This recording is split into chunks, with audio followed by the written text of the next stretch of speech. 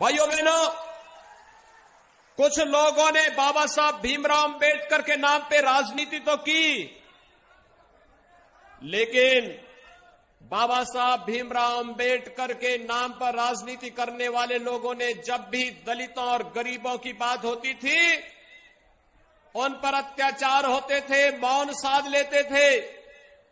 याद करिए जब समाजवादी पार्टी की सरकार के समय रामपुर में, उस समय के समाजवादी पार्टी के नेता और मंत्री आसम खां के द्वारा वहाँ के दलितों को प्रताड़ित किया जा रहा था, उजाड़ा जा रहा था, तब कांग्रेस मौन थी, सपा अत्याचार करा रही थी, बसपा भी मौन थी, तब केवल और केवल भारतीय जनता पार्टी आंदोलन कर रही थी क्योंकि वहाँ पर गरीबों और दलितों को उजाड़ करके उस समय सत्ताधारी दल का एक मंत्री सत्ता के संरक्षण में अराजकता पैदा कर रहा था।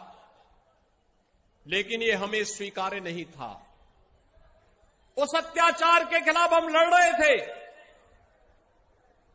और यही नहीं समाजवादी पार्टी की सरकार के समय तो अराजकता ही उसका पर्याय हो गया था। देश के अंदर एक नारा चल पड़ा था। जिस गाड़ी में सपा का झंडा, समझो होगा, कोई जाना पहचाना गुंडा। यानी ये नारा ही चल गया था। लोग ये मान लिए थे।